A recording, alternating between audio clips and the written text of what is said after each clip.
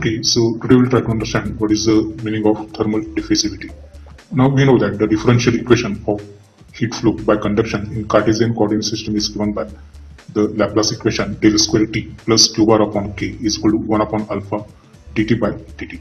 Now in this particular case, this del square T it is a Laplace operator. So it is delta square T by delta x square plus delta square T by delta y square plus delta square T by delta z square and this alpha term that is known as the thermal diffusivity. So in this particular equation, we are having the rate of heat flow by conduction.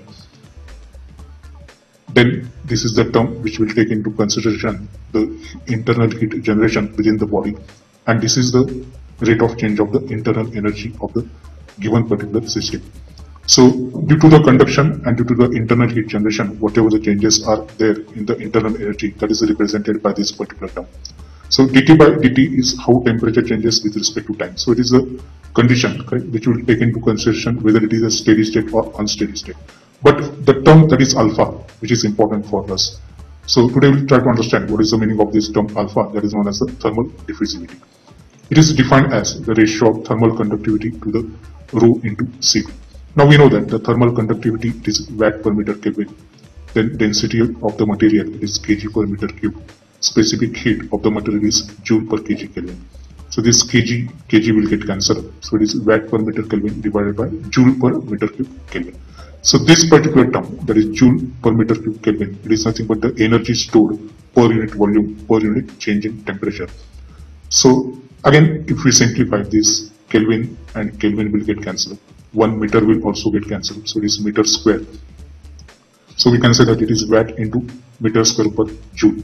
But we know that watt is nothing but joule per second. So again this joule, joule will get cancelled and we will get meter square per second.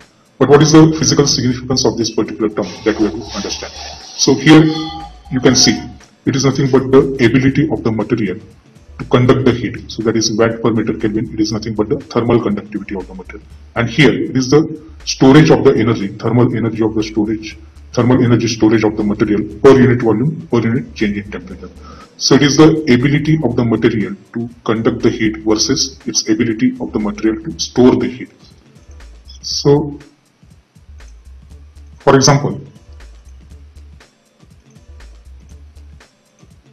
if we consider the example of large or big forts or temples which are made up of the large stones, then these particular stones, they will have very large thermal storage capacity as compared to the heat conduction or thermal conductivity of the that particular material that is stone. And therefore, the inside temperature of such particular temples or forts is very less as compared to the outside temperature. In other words, we can say that the thermal conductivity, thermal diffusivity in such cases will be very, very small. Whereas in case of the metallic solids like steel, this value of thermal conductivity is very large as compared to its thermal storage capacity. So in other words, steel can conduct the heat at a very rapid rate as compared to its storage capacity and therefore the value of thermal diffusivity will be very very large as compared to that of the stones. So in this way we can understand the concept of thermal diffusivity in the heat transfer. Thank you very much.